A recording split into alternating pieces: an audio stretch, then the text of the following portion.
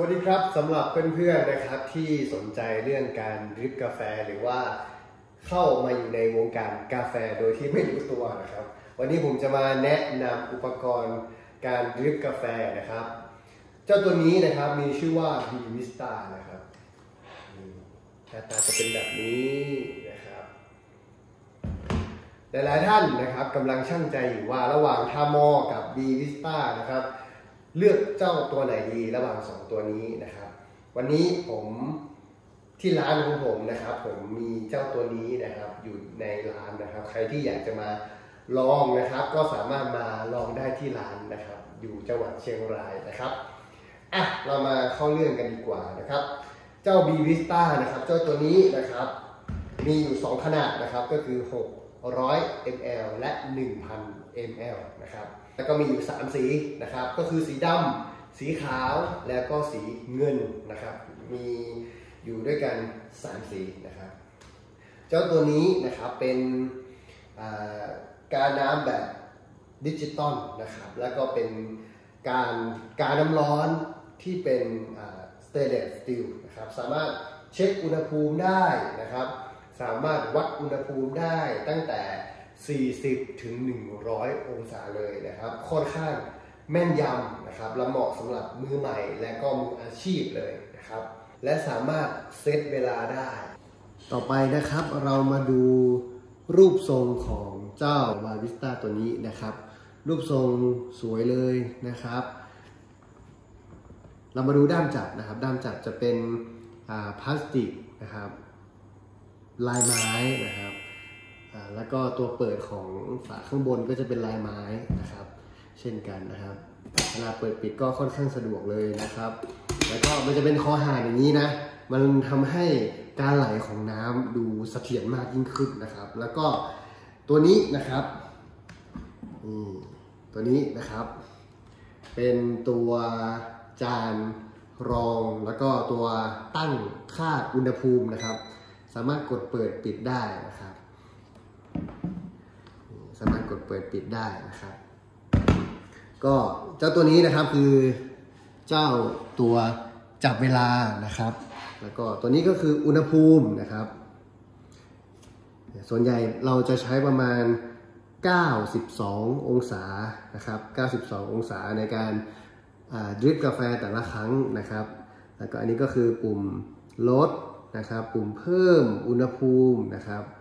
เราจะใช้ 92 นะครับ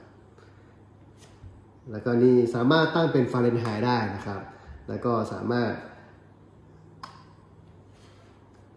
กดและให้มันทำงานนะครับ โดยการอุ่นน้ำให้อุณหภูมิ 92 องศานะครับ แล้วเราก็จะเห็นเลขนะครับ วิ่งวิ่งวิ่งวิ่งวิ่งไปถึงอุณหภูมิที่ 92 องศา แล้วเราสามารถนำเอากาต้มน้ำไปดริบกาแฟได้ กำลังทำงานอยู่นะครับ ตอนนี้ โอเคนะครับ เรามาดูตัวอย่างในการดริปกาแฟนะครับ เราเริ่มจากการเทเบาๆนะครับ จะทำให้เส้นน้ำนะครับที่ไหลออกมาเป็นเส้นเหมือนกับเข็มนะครับก็คือ ค่อนข้างที่จะที่จะคอนโทรลได้นะครับ มันเหมาะสำหรับมือใหม่ แล้วก็เหมาะสำหรับมืออาชีพด้วย อีกครั้งหนึ่งนะครับ ผมเทแรงขึ้นเนาะ มันก็ยังคอนโทรลน้ำได้นะครับ แต่ถ้าเราเจรนให้มันเล็กๆนะครับ มันก็จะเล็กนะครับ แล้วก็มันก็จะทำให้รสชาติของกาแฟ อร่อยขึ้นนะครับ โอ้โห ใครที่ตัดสินใจ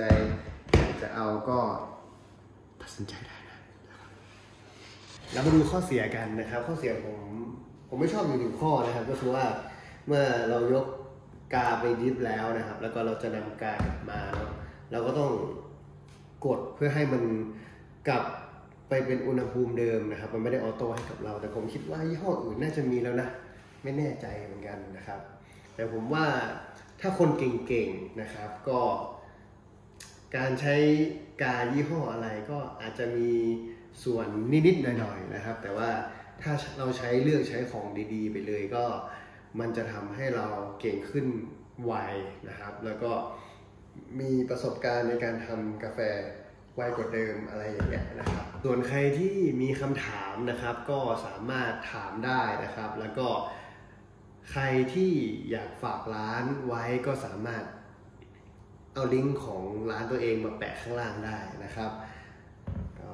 ไว้ผมจะมาแนะนำอุปกรณ์ที่ร้านของผมใหม่นะครับ ผมมีหลายตัวเลยนะครับ ที่อยากจะมาแนะนำเนาะเดี๋ยวไว้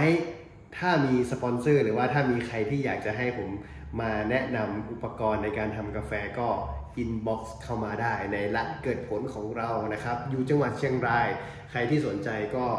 ติดต่อแล้วก็สอบถามเรามาได้เลยนะครับ วันนี้ก็ฝากไว้แค่นี้ครับ สวัสดีครับ